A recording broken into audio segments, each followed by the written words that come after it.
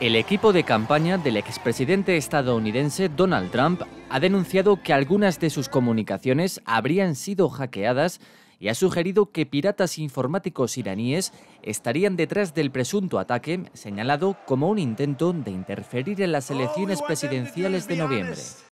El presunto hackeo ha sido denunciado inicialmente por el portal político, que ha asegurado que en julio empezó a recibir correos electrónicos anónimos con documentos internos de la campaña del candidato republicano a la Casa Blanca.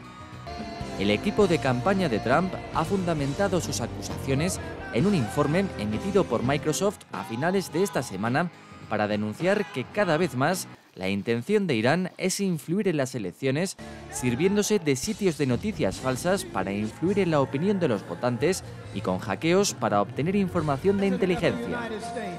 También han indicado que existen informes recientes sobre un complot iraní para acabar con la vida del exmandatario.